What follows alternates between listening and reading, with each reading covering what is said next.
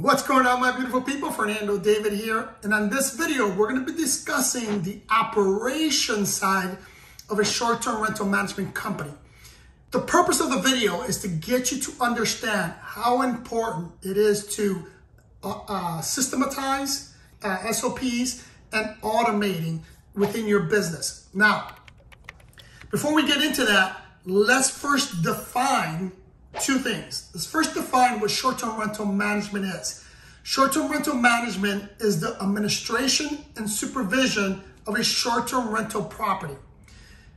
Within that, we have operations. Now, what is operations? Operations is the inner workings of a business. Now, it doesn't matter what type of business you have, whether you're creating a product, you're selling a product, product, you're in the service industry, any business has an operation side. And since we're talking about short-term rental management, I'm going to give you what, uh, these are a few, but not all, of the departments within operations you should be focusing on and making sure that you have system, processes, and, and focus on automating some of these uh, departments so that your company is running as efficiently, as optimal, and more importantly, as profitable as possible. Now, before I get into what these tasks or departments are, here's one thing you need to understand. And in this video, I'm gonna focus mainly on what we refer to as the DIY or self-managed managed uh, entrepreneur or operator within a short-term rental management company. Now, you don't need uh, to do everything yourself, and I highly recommend you don't. But I'm going to talk about our company first and give you some of the type of clients we have so that you can have an understanding that everything I'm going to talk about can either be hired out or contracted out. But our company is a full service asset management company. And within our company, we do a variety of things and we can handle clients uh, uh, such as clients that only want co-hosting, now I'll talk about that in a second, to clients that want us to handle everything from A to Z. So the majority of our clients tend to be investors that are looking for passive income. Those clients, really all they want is a return on their money. So with those clients, we buy the property, or we find the property, we purchase it, we rehab it, we stage it, and we manage it. And then we provide our that client with a return on their investment and a, a full report on, on what the ins and outs of that property, right? The, the second client that we get often are those that are currently self-managing and realize that they really don't like the operations side of the house. They do like some aspects, but they don't want to do the operations side of the house. So they hire us to assist with operations. And then the, the next most common client, which has become very popular late, lately, are those clients that are looking to grow their business and they already have their teams in place and they just want us to handle the administrative side, uh, and we refer to that as co-hosting with them, and to provide them some guidance and mentorship so that they can grow their, their uh, business, right? Along those lines of growth, here's, here's something that I was taught a long time ago from a good mentor of mine, and that is if you're not growing, you're dying. Meaning if your business isn't constantly evolving, constantly looking for growth, constantly looking to automate, then your business is going to eventually die, right? We all know stories like Blockbuster, Kmart, Sears. These are massive companies that no one thought they would go away, but they did because they failed to continue to grow. And that this is what I need you to understand. This how this video is going to help you as an entrepreneur and specifically as a short-term rental manager or short-term rental investor that's looking to do this full-time, right? So let's go on with the task uh, or some of the departments within operations that you should be focusing on to, again, automate and create uh, processes and procedures for. Number one is the managing uh, the property listing and bookings. Two is cleaning. Three is handling check-ins and check-outs, maintenance and repairs, guest communication, guest review. That's an area that a lot of people overlook.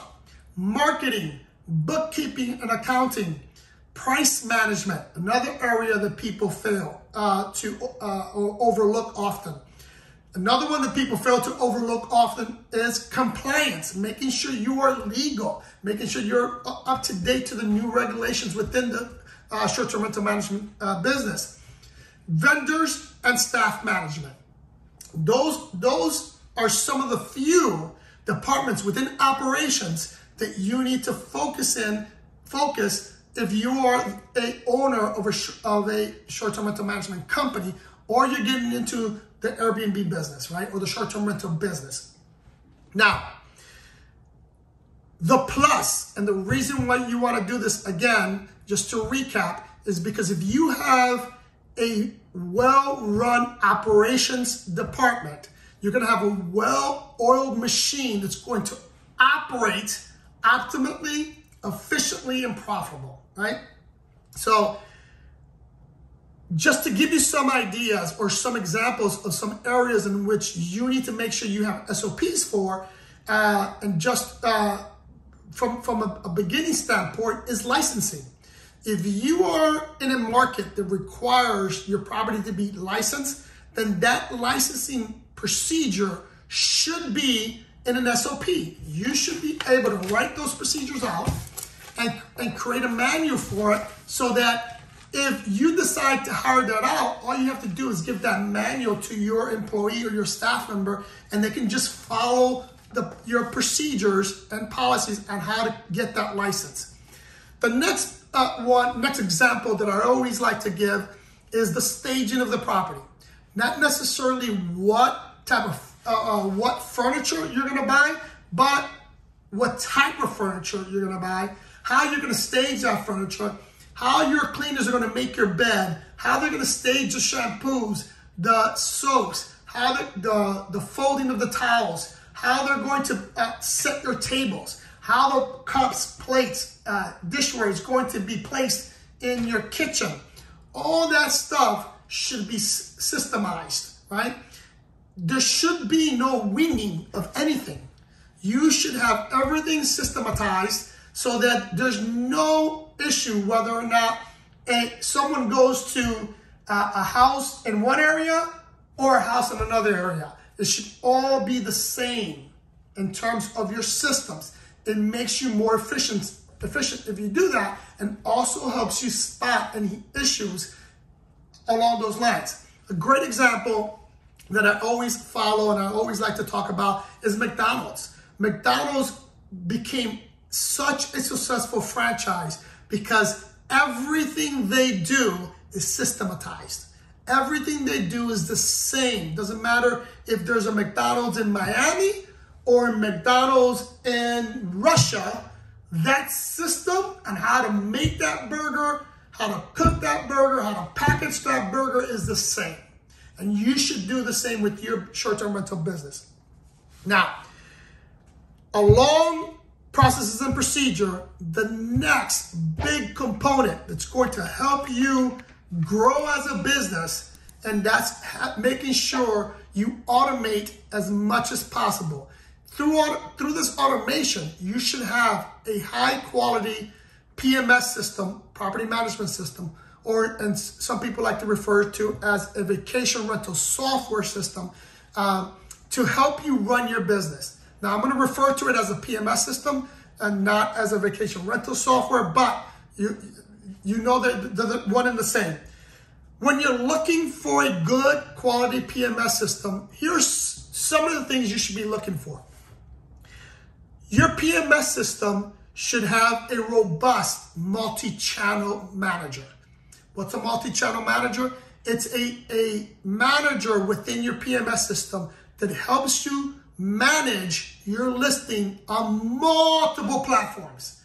If you've been following my channel, you know I'm a big advocate of using the multi-channel approach and more specifically indirect booking. I'm going to touch on direct booking in a second.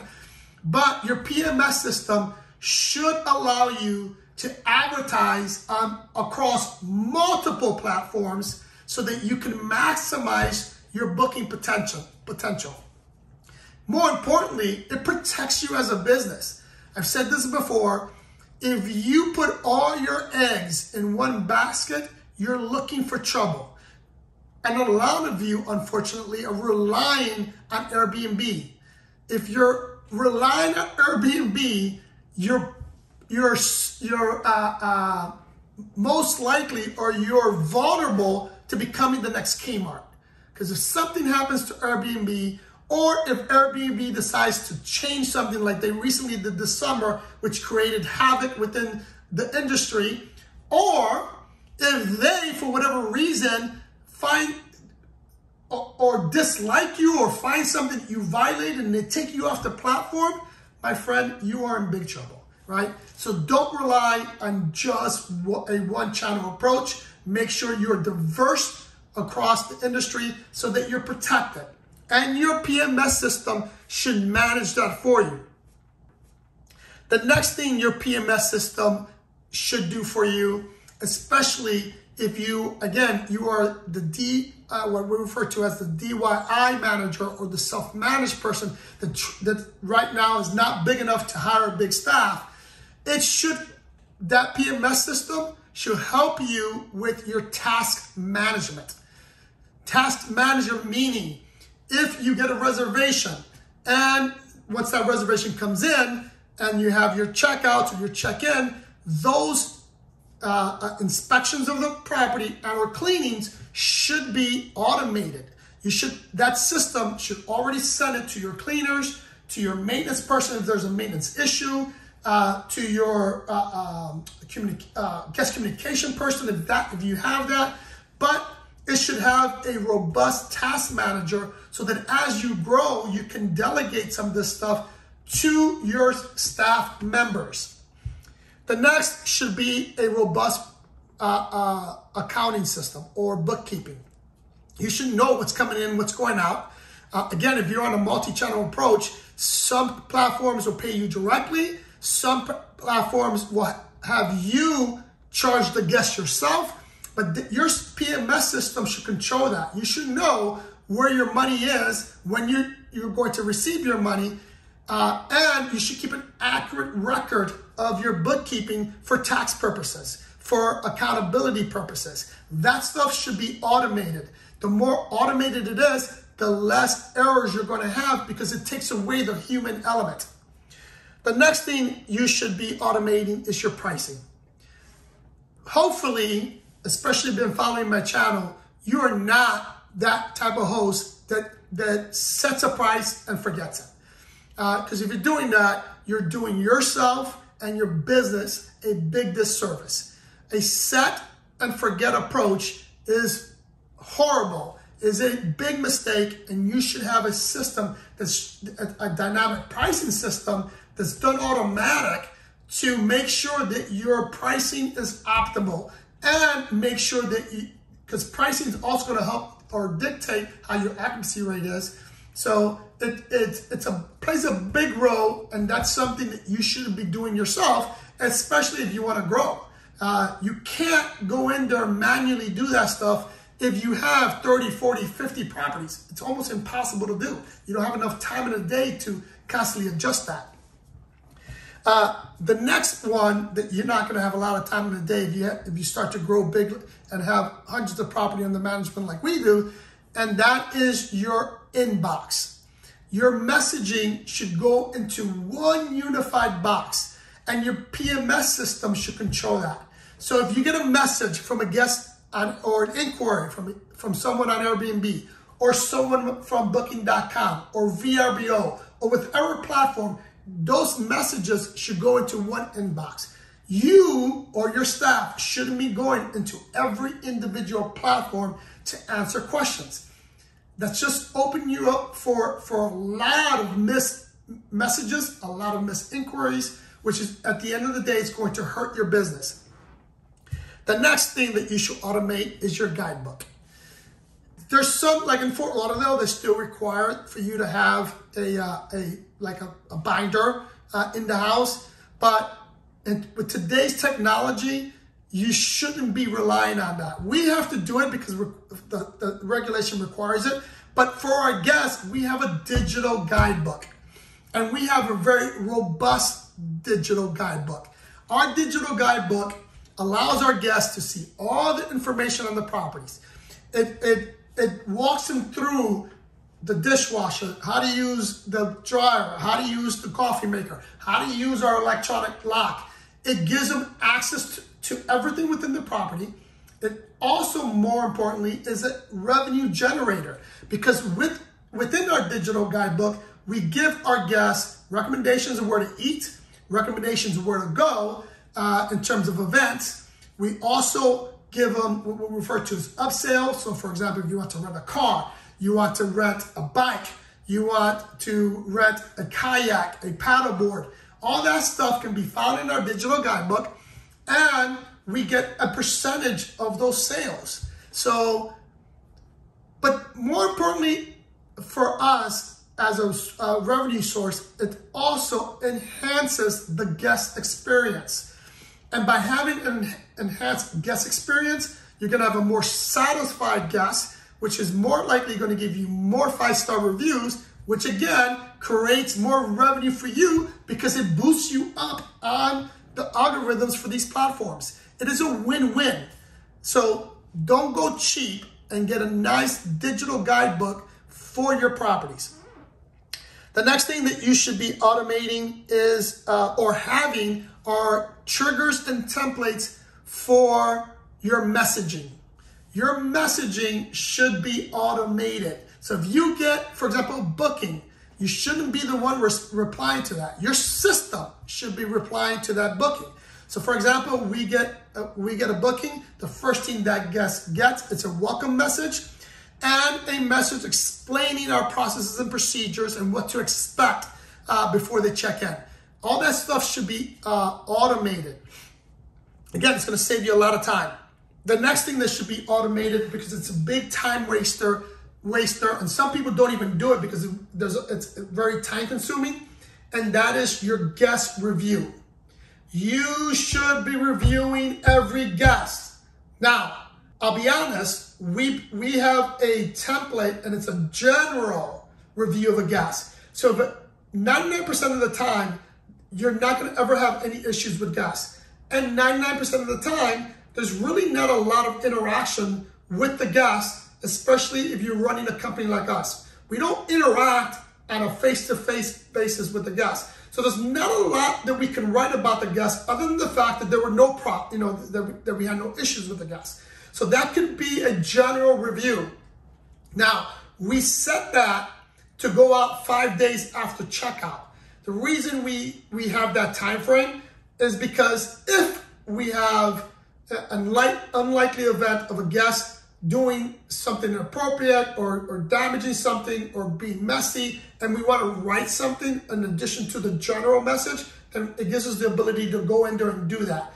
But that is not common. Because it's not common, it's not wasting our time on a daily basis reviewing every checkout that we get. Then the last two things is you should have a direct booking website. So your PMS system should give you that. Now, I don't recommend uh, once you start to grow that you continue to use your PMS system's website. I suggest to you, uh, if you can do it in the beginning, awesome. But if you can't because of money, uh, then use your PMS systems website. But you eventually want to create your own website. And I'm going to tell you why. If you're in this business long enough, you're, you might outgrow your PMS system or you might find another system that better suits you and you may want to switch. If you switch, and you, the only website you have belong to that PMS system, that website goes with them. So it is, and especially if you like the website, your next PMS system may not have a, a, the same type of template of website. So you're to get a different look. And for me, branding is important. So you don't want to constantly be changing that. So if you purchase your own website in the beginning, you're better off because you can brand that website to you and your company. And um, this, I won't get into branding, but branding is really important, uh, especially as you start to grow and your name starts to get out there. You want to make sure that you're branding your stuff and not somebody else's. And then the last thing I want to talk about within your PMS system is that it needs to have robust analytical or analytics and robust reporting system. The more robust, the better. So our PMS system really breaks everything down. Like I know uh, uh, our occupancy rate per property.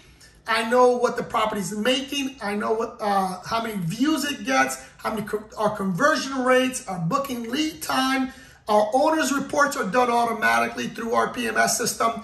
Uh, but the reporting system within the PMS system is something that should be useful for you to help you to continue to analyze your business and how you are either growing or not. And so that you can constantly be analyzing constantly be fixing uh, little stuff here and there to make sure you're constantly getting better.